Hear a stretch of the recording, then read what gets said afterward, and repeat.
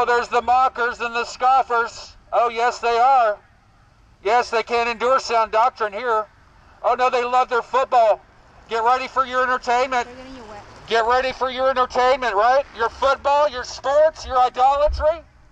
Jesus said no idolater has any inheritance in the kingdom of heaven, but you don't believe the words of God, do you? You think you can have one foot in the world and one foot in the kingdom of heaven, don't you? Don't you?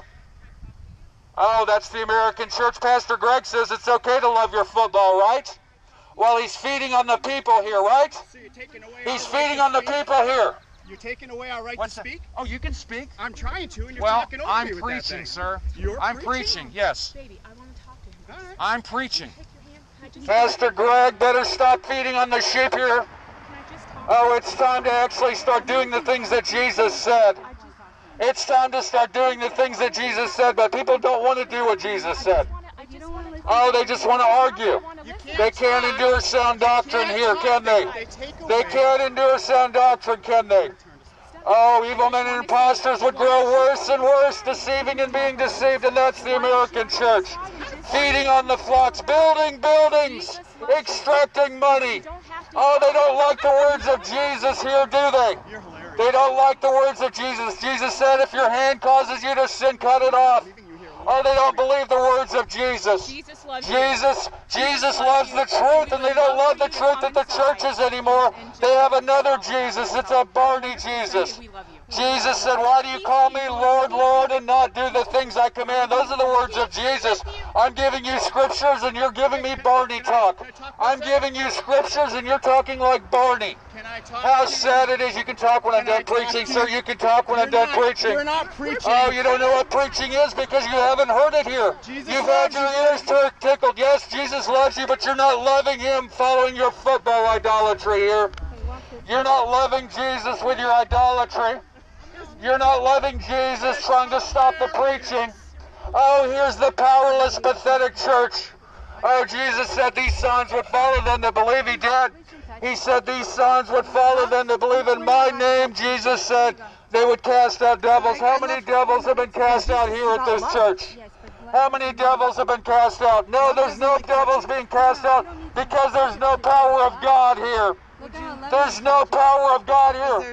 It says they would have a form of godliness, but they would deny his power. And that is the American church. They don't like the words of Jesus here. They don't like the words of Jesus here at these churches. No, that is the word of. Jesus. The arguing, the loudmouth women. Jesus said, God said that He loves the quiet and gentle spirits. That's what He loves from women, but that doesn't exist here in America, does it? There are very few quiet and gentle spirits. Oh, Pastor Greg has been feeding on the people here a long time. This is the American way, isn't it? This is the American way for the pastors to enrich themselves. They won't follow in the example of Paul.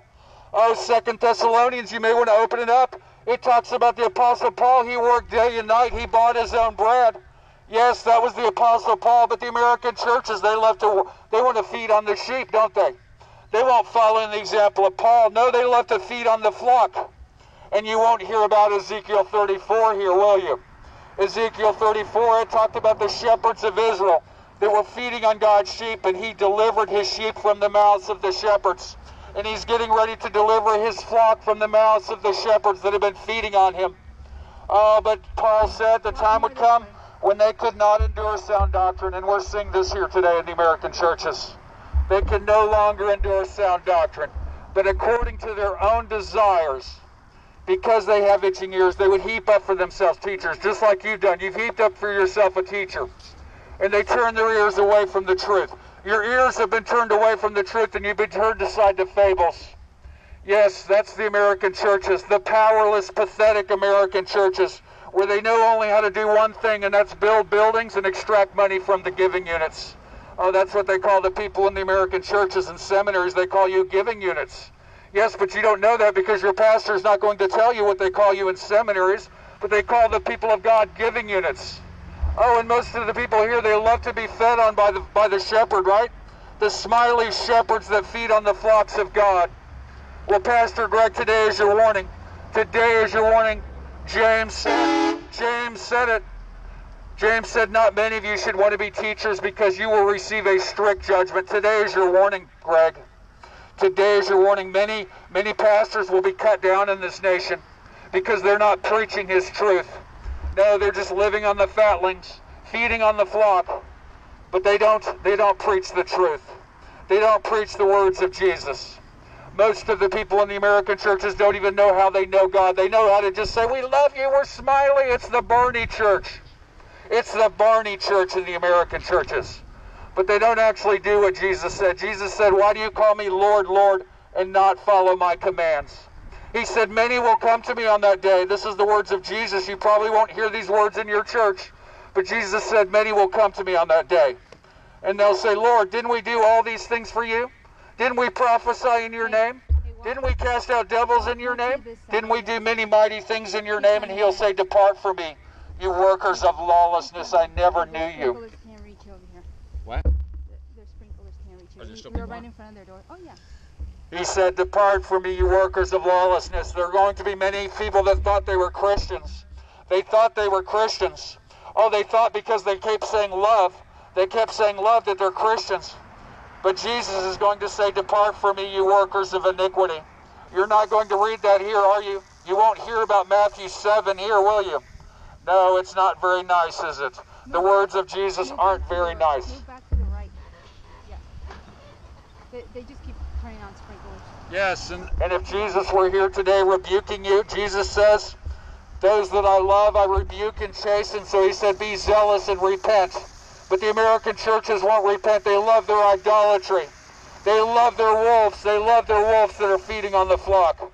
Oh, yes, the loudmouth church that knows how to do one thing, and that's cheer for the Cowboys or cheer for the Buffalo Bills, right? You love your football here, don't you? Don't you? Don't you? What a shame it is. What a shame it is. Folks, it's time to wake up because judgment is coming. Judgment is coming and it will find you.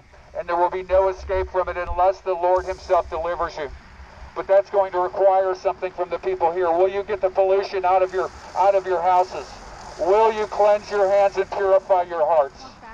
Yes, it's time for a cleansing. It's time for a purification. Oh, it's time to stop with the entertainment. It's time to stop with the sports. Oh, but you love you love your idolatry here, don't you? You love your Instagram here, don't you? That's the American church. Friends of the world. And the Bible says if anyone loves the world or the things of the world, the love of the Father is not in them. Is the love of the Father here? Or is Greg in here working the sprinklers? Is he working the sprinklers? Is that how they welcome you here? God's going to work fire. You may be able to throw water, but God's going to pour down fire on this nation.